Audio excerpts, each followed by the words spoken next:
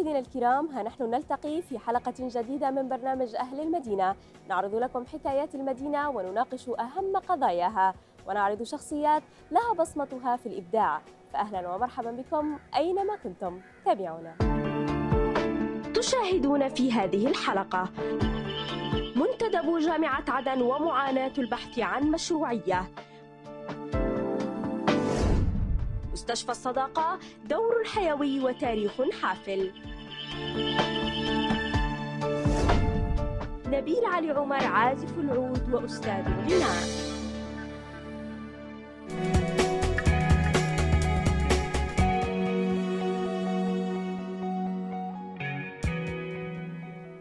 مشاهدينا الكرام كما عودناكم نبقى الآن مع جولة إخبارية سريعة. نعرض لكم من خلالها أهم الأحداث التي حصلت خلال الأسبوع. نتابع. شدد مدير عام مديرية البريقة بمحافظة عدن هاني محمد اليزيدي على ضرورة مضاعفة الجهود والعمل بجدية وحزم للحفاظ على نظافة ومظهر المديرية. وقال اليزيدي خلال ترأسه اجتماعا لمسؤولي النظافة في المديرية وبحضور أعضاء السلطة المحلية إن المتابعة والمراقبة ينبغي أن تتضاعف على أعمال النظافة في كافة شوارع وأحياء المديرية من أجل إبرازها بمظهرها اللائق. واستعرض الاجتماع الصعوبات التي تعيق عمل النظافة في مديرية البريقة وأقر التواصل مع الجهات المعنية لتوفير الإمكانيات اللازمة لتذليل كافة الصعاب التي تواجه عمل النظافة في المديرية. تتواصل في مدينة البريقة بعدن صرف المعونات النقدية لمستفيدي الرعاية الاجتماعية ضمن المرحلة الرابعة من مشروع الحوالات النقدية الطارئة. الممول من البنك الدولي ومنظمة اليونيسف. المشروع وبحسب القائمين عليه يستهدف 3767 من ذوي الدخل المحدود من أبناء البريقة. وثمن مدير عام المديرية هاني اليزيدي جهود البنك الدولي ومنظمة اليونيسف في دعم وتنفيذ هذا المشروع الإنساني الذي قال إنه سيسهم في التخفيف من المعاناة المعيشية للأسر الفقيرة والمحتاجة.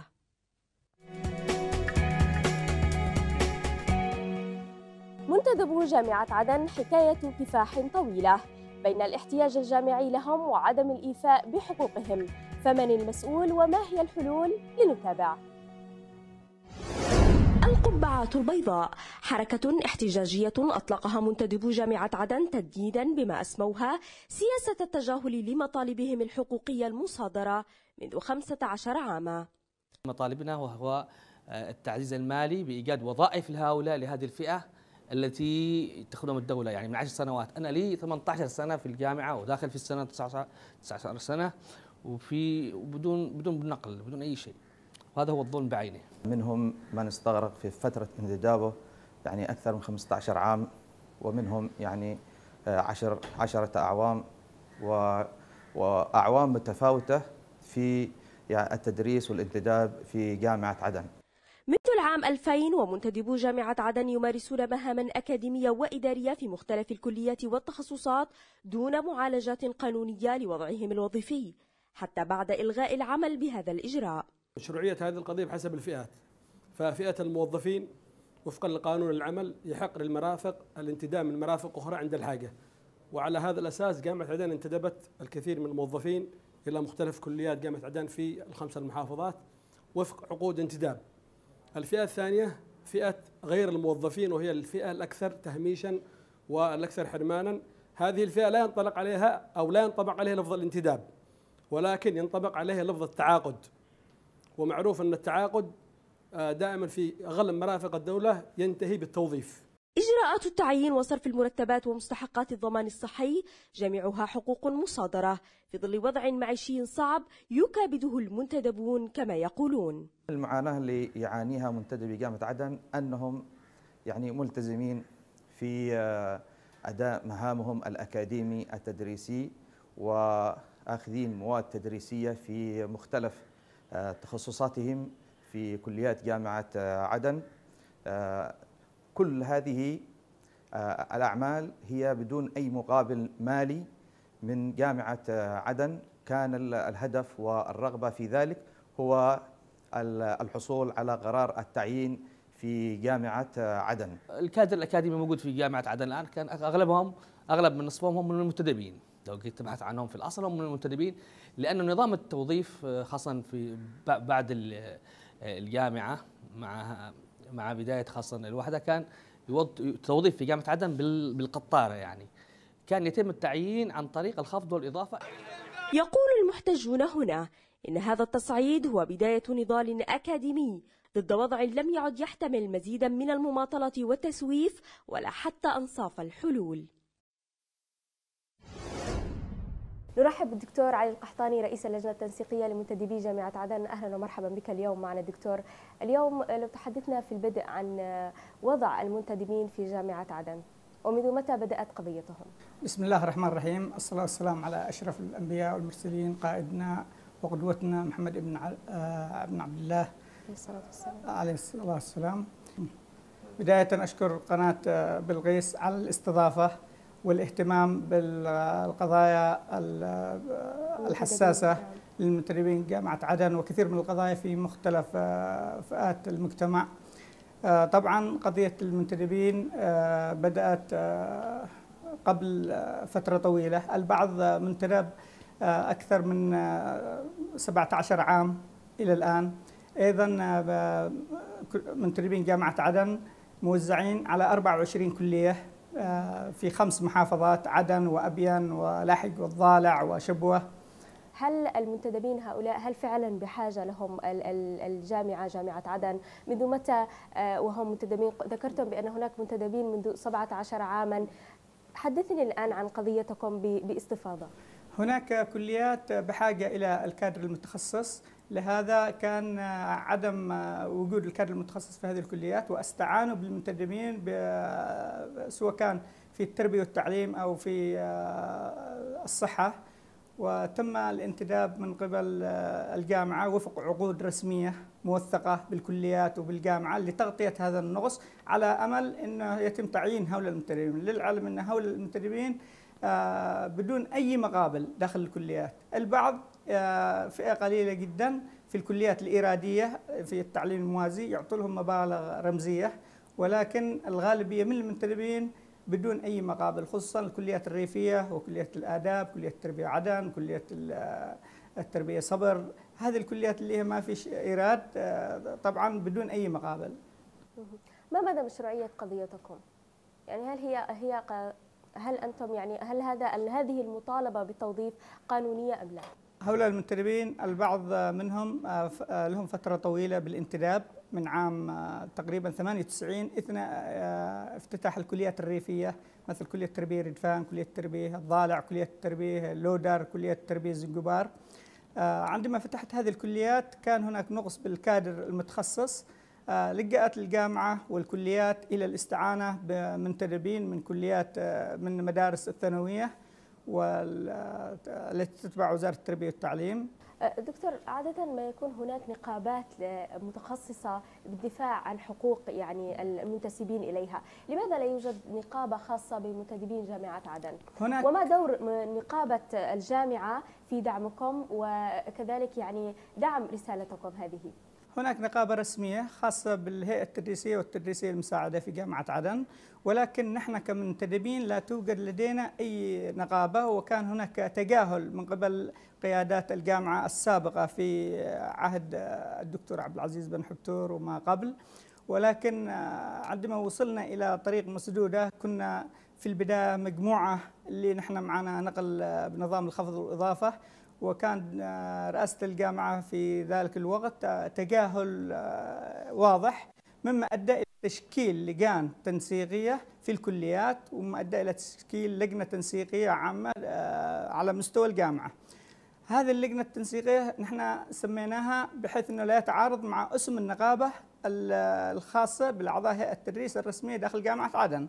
طبعا النقابة لم تقصر في المطالبة بحقوق المنتدبين ولكن النقابة كان آه، لا يعطوا لها أهمية للمتابعة لقضيتنا.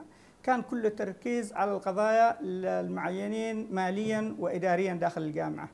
آه، مما أدى إلى أن إحنا نشكل لجنة تنسيقية لمتابعة آه، قضيتنا بشكل منتظم. في البداية نحن وجهنا لكل الكليات بعمل تفويض رسمي لكل المنتدبين بحيث إن إحنا نتكلم من ناحية قانونية ونتكلم بقوة أمام الجهات المسؤولة وطبعا نحن معنا العقود الانتداب وأيضا معنا جزء من توكيلات من المنتدبين تفويض بإن إحنا نكون لجنة تنسيقية نتكلم أمام الجامعة آه، على كل آه، المنتدبين ب 23 كلية موزعة بالخمس المحافظات.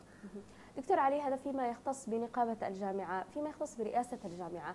اليوم ما هو دور رئاسة الجامعة في دعم مطالبكم؟ نحن بداية كان في البداية كان تجاهل واضح لقضيتنا وعدم اهتمام. ومثلا بدأت قضيتنا الأول آه، أيام الدكتور عبد العزيز بن حبتور وكان عدد كبير موجود في آه، ساحة الجامعة. تقريبا الذي كان معهم فتاوى لحضور 75 من بين 137 كان نقل معهم لديهم نقل بنظام الخفض والإضافة من وزارة الخدمة المدنية ولكن تم توقيفها من قبل وزير المالي سخر الوجيه وتلك الفترة ثم أجينا على آه، مرحلة ثانية في أيام الحرب عام 2014 و15 كان قائم بأعمال آه، رئيس جامعة عدن الدكتور حسين باسلامة حفظه الله ورعاه وكان متفهم لقضيتنا. وفي أحد اجتماعات مجلس الجامعة الذي عقد في أحد الكليات في تاريخ 13 8 2016 تم إقرار آه، إصدار قرارات لكل المنتدبين بمختلف فئاتهم وتم إقرار 1046 منتدب بمختلف الفئات. طبعا آه، قضيتنا آه، هذه بدأت تأخذ منعطف جديد بالاعتراف فيها. كيف؟ عندما تم الإقرار في مجلس الجامعة عندما كان قام بأعمال الدكتور حسين باسلامة وتم الإقرار بالإجماع مجلس الجامعة بإصدار قرارات لهذا الطبقة المهمشة من المنتدبين. تم بداية العمل وضع اللبنات الأولى في قضيتنا. ثم بعد ذلك آه، أتى رئيس جامعة جديد الدكتور الخضر ناصر الرصور حفظه الله ورعاه الذي آه، تفهم لقضيتنا ومعاناتنا وأعطى اهتمام آه، كبير بقضيتنا وتم تشكيل لجان. لجان هؤلاء لصياغة القرار التعيين للمنتدبين. وكان هذا في اجتماع آه، أعتقد آه، في أحد اجتماعات مجلس الجامعة.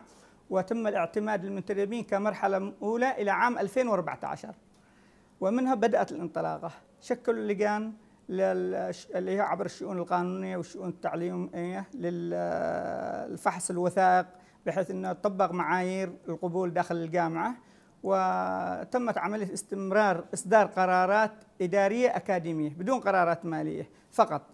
وإلى الآن بلغت عدد عدد القرارات 627 قرار تعيين للمدربين وما زالت العملية اصدار القرارات آه، مستمرة للفئة المنتدبين المتبقين اللي هم المرحلة الثانية ما بعد من 2014 مالية من دون قرار اعتماد لا لا مالي. بدون اعتماد مالي. هذه قرارات ما تثبيت المنتدبين إذا لم يكن هناك اعتماد مالي؟ على أساس نحن على أمل أن إحنا نتعين ماليا. نحن وجهنا رسالة إلى رئيس مجلس الوزراء الدكتور عبد آه، عمعين عبد الملك برسالة خاصة ولكن آه، واضح أن هناك تجاهل من الحكومة مما أدى إلى أن إحنا نعمل وقفة في معاشيق التي سميت بالحركة القبعات البيضاء الأكاديمية التي نفذت يوم الثلاثاء تاريخ 15 يناير. إذا كان اليوم الكثير من الجهود تضافرت لكي لإنجاح يعني مطالب المنتدبين. من هي الجهة التي تتهمونها بعرقلة مطالبكم بعرقلة توظيف المنتدبين؟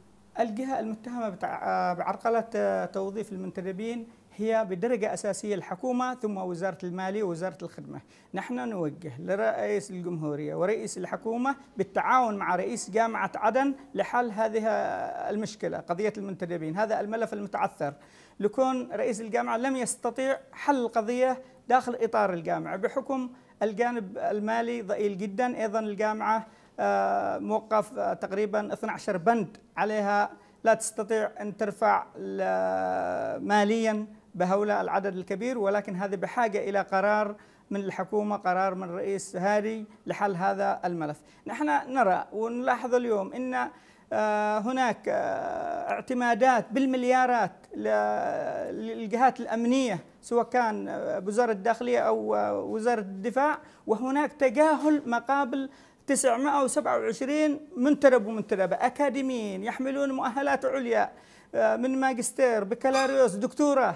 هؤلاء هم نخبة المجتمع. لماذا الدولة تهمش هذه الفئة؟ ما هو الهدف؟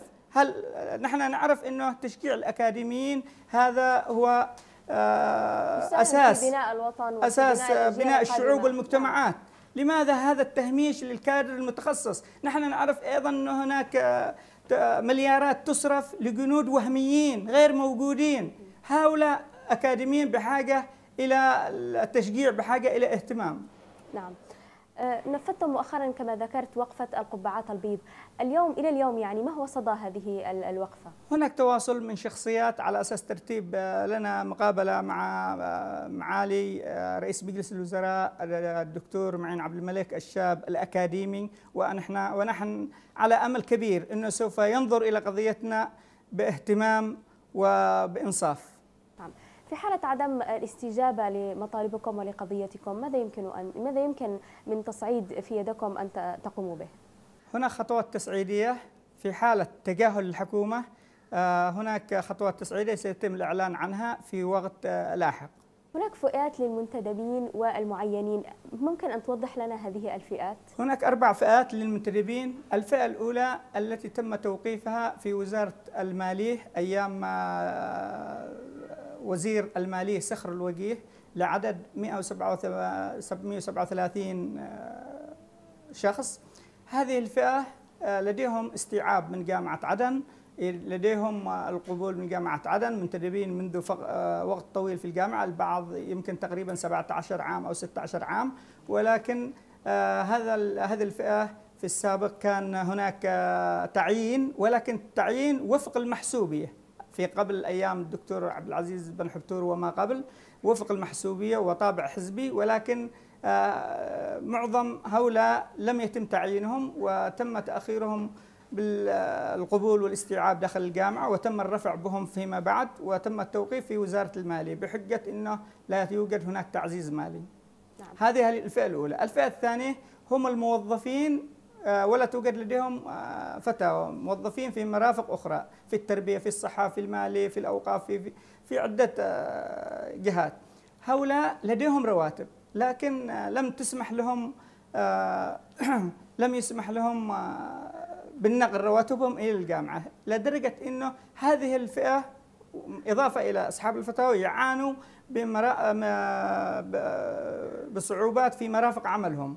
لدرجة إنهم لماذا لا يعودون إلى مرافق عملهم ويتم تثبيتهم وتشغيلهم؟ مرافق عملهم طبعا آه، بالموافقة بالنقل إلى الجامعة ولكن اشترطت إن يكون هناك نقل للراتب، مثلا نحن في التربية والتعليم هناك عدد كبير من الموظفين في التربية والتعليم يواجهوا صعوبات في المدارس مع مدراء مكاتب التربية لعدم بسبب إنه آه، رواتبهم موجودة في آه، هذه المرافق. نحن الآن نطالب بنقل هذه الرواتب لكل الموظفين. طبعا المنتدبين الأكثرية الغالبية العظمى موظفين لديهم درجات وظيفية. بنقل رواتبهم تنعكس على الجامعة بحيث أنه لا يواجه هذا الشخص المنتدب آه، معنا في المدارس. لأنه أصبح الآن آه، مداومين في الجامعة ومداومين في مرافقنا السابقة. العدد كبير. والبعض في تعاون من قبل الجهات المعنية بحكم أنهم انتقلوا إلى كليات بجامعة عدن. آه، لا توجد صعوبات ولكن الغالبية يواجهوا صعوبة بهذا الأمر. طبعا الفئة الثالثة هم الإداريين في الجامعة عددهم 47 إداري هؤلاء تم تأهيلهم إلى ماجستير والبعض إلى قد يحملوا الدكتوراه. بحاجة الآن نقلهم إلى وضع هيئة أن يكون أعضاء هيئة التدريس من إداري إلى أكاديمي. أيضا الفئة الرابعة وهم المنتدبين الغير موظفين. هذه الفئة الرابعة وهي الفئة الأكثر معاناة. لا توجد لديهم رواتب نهائيا ولكن على أمل إن يتم تعيينهم في الجامعة ويتم اعتماد لهم درجات وظيفية أسوة بالجامعات الأخرى، طبعا جامعة عدن موقف التعيين في التوظيف تقريبا من عام 2006 وتم تهميشها. طبعا الجامعات اليمنية جامعة تعز جامعة صنعاء يتم التعيين سنويا تقريبا 70 إلى 80 درجة وظيفية بينما جامعة عدن من عام 2008 إلى الآن لم يتم التعيين. لو اعتمدنا من عام 2008 إلى اليوم 2019 واعطينا 70 درجة وظيفية بكل عام لغطى حاجة المنتدبين الغير موظفين وطبعا آه، تقريبا عددهم آه، لا يزيد عن 300 آه، منتدب ومنتدبة. نعم. ختاما دكتور علي رسالة تودون تقديمها من خلال هذا اللقاء. الرسالة الأولى أوجهها إلى فخامة رئيس الجمهورية الرئيس عبد ربه منصور هادي ورئيس الحكومة معالي الدكتور معين عبد الملك بالاهتمام وبالتوجيه الصريح لحل هذه المشكلة واتخاذ قرار شجاع. آه، بحل قضية المنتدبين ماليا والاعتماد بالموازنة العامة ل 2019 لكون هؤلاء المنتدبين آه، عانوا وبذلوا جهود بدون أي مقابل بمختلف كليات جامعة عدن في الوضع المزري آه، أيام الحرب مستمرين في كلياتهم. أيضا معلومة أن هناك عدد من الكليات معتمدة أكثر من 50% على المنتدبين بينما أعضاء هيئة التدريس عندهم ابتعاث الدراسة في الخارج والبعض قد بلغ سن التقاعد البعض خدمته أكثر من 40 عام. آه، غير قادر لتأدية آه، مهامه وغير آه، أصبحوا غير قادرين للتدريس. لهذا أصبحت أغلب الكليات معتمدة على المنتدبين ونطالب كما قلت أنا رئيس الجمهورية ومعالي رئيس مجلس الوزراء لحل هذا المشكلة وأملنا فيهم كبير. آه، أسوة بالجامعات اليمنية. نعم. الدكتور علي القحطاني رئيس اللجنة التنسيقية لمنتدبي جامعة عدن شكرا جزيلا لك على هذا اللقاء. العفو.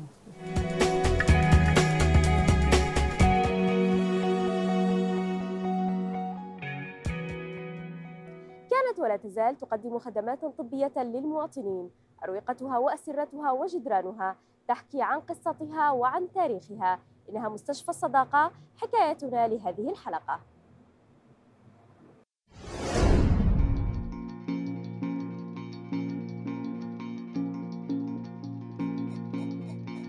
إلى الجهة الشمالية من مديرية الشيخ عثمان بمدينة عدن يوجد مستشفى الصداقة التعليمي العام أحد أقدم المستشفيات وأكبرها حينذاك على مستوى اليمن والجزيرة والخليج.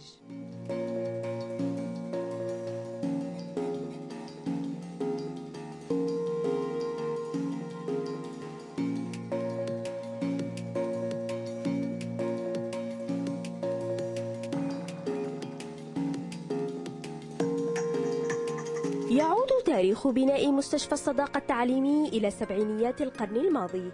كمشروع أهداه الاتحاد السوفيتي سابقا لدولة جمهورية اليمن الديمقراطية الشعبية آنذاك. وسمي بالصداقة كدلالة على علاقة الدولتين الاشتراكيتين.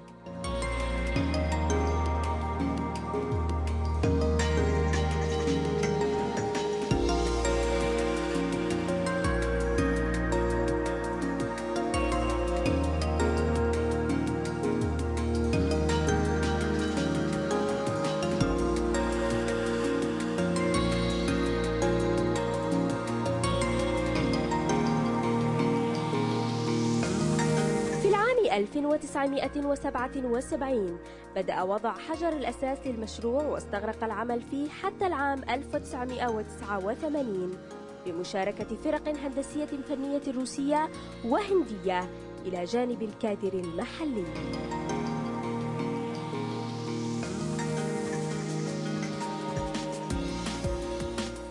يتكون مستشفى الصداقة من مبنى خماسي الأدوار يضم في جنباته مختلف أقسام التمريض والعيادات والمختبر. بالإضافة إلى قسم الطفولة التخصصي بسعة 100 سرير وقسم الأمومة بسعة 300 سرير.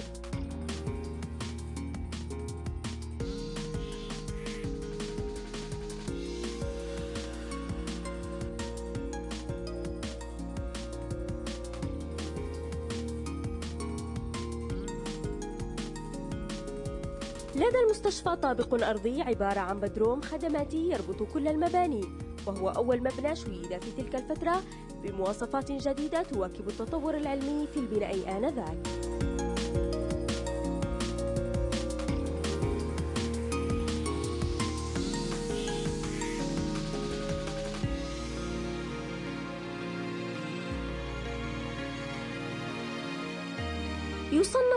الصداقة كمستشفى مركزي وكان سابقا يعرف في مستشفى الأمومة والطفولة ويقدم خدمات طبية لسكان عدن وضواحيها.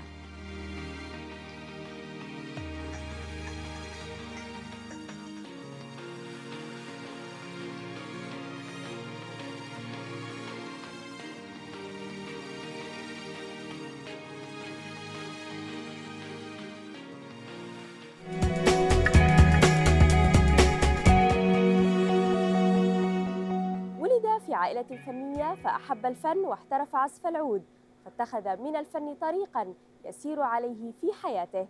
إنه الفنان نبيل عمر وجه المدينة لهذه الحلقة.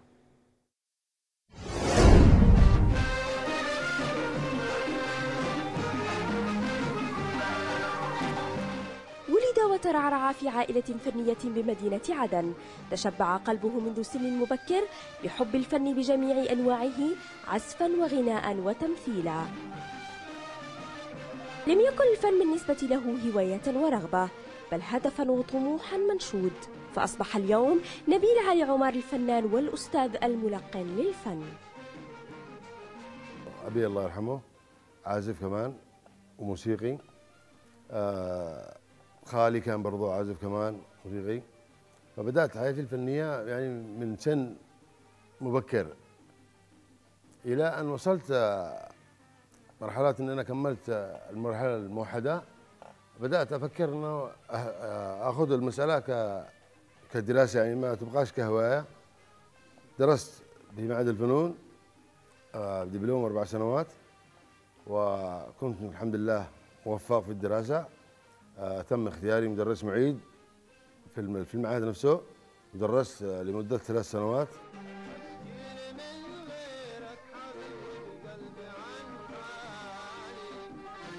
تجربته الأولى في الغناء منحته الكثير من الأمل والثقة فالتحق بمعهد الفنون وتخصص في العزف والغناء والتلحين حتى غدت آلة العود جزءا من حياته ومستقبله. أنا متخصص آلة عود. ومدرس ومدرس آلة العود ومادة الغناء العربي. آه، طبعا آه، أنا في عندي يعني اللي قال إن أنا فنان ملحن. التلحين يتطلب أن أنت تعزف آلة عود. المسيرة الفنية بدأت آه، من أيام الخدمة العسكرية. أجت فرصة أنه كنت شاركت بأول ظهور لي على المسرح بأغنية في في حفل. هذه كانت البداية اللي أعطتنا الدافع والتشجيع اللي وصلت له إلى ما أنا إليه الآن الحمد لله.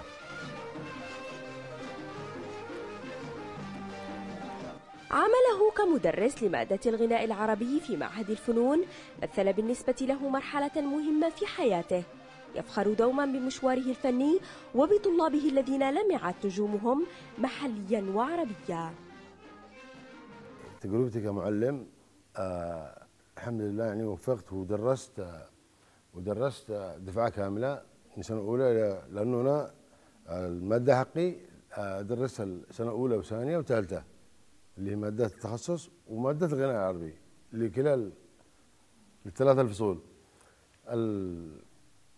بالنسبة للتخصص الحمد لله الان يعني كان من ضمن الطاقم اللي درسته الآن آه، شباب. آه، موجودين في الساحة الفنية آه، بل وتعدوا الساحة المحلية الآن هم في الساحة العربية.